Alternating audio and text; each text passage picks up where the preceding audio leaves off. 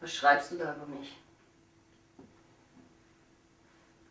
Und über Richard, dem du nicht mal annähernd das Wasser reichen kannst. Und Klaus und Paula, dass ich ohne sie glücklicher wäre. Warum hast du das getan? Weil ich nicht dabei war, als du deine tote Katze abgeholt hast? Du hast Übernimm endlich Verantwortung. Ich habe dir genau das gegeben, was du gebraucht hast. Und mich wärst du immer noch verstrickt in dieser sinnlosen Ehe. Was? Du kannst es momentan nicht akzeptieren. Du glaubst, ich wollte hier mit dir leben? Du brauchst mich. Du bringst mich ins Gefängnis, ich krieg vielleicht zwei Jahre. Die vergehen wie im Flug. Ich werde dich jede Woche besuchen kommen, Susanne.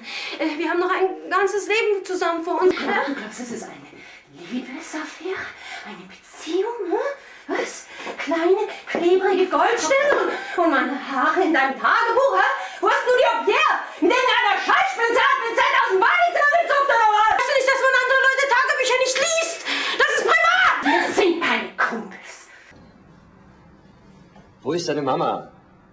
Die hat mich doch zu dir geschickt. Was, die hat dich zu mir geschickt? Wie heißt denn die, deine Mama? Mama.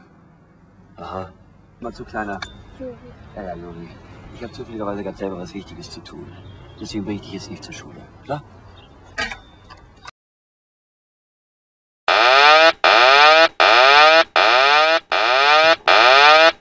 Sink rate, glide slope, sink rate.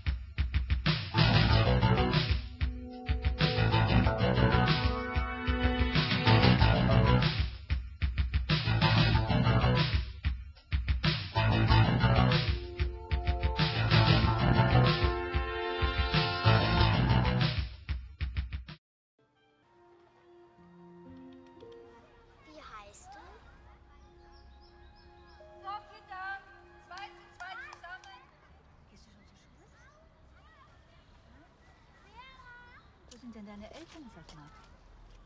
Hallo. Misha, wie oft habe ich dir gesagt, du sollst nicht mit anderen Leuten reden? Hm? Was hast du dieser Frau gesagt? Nix.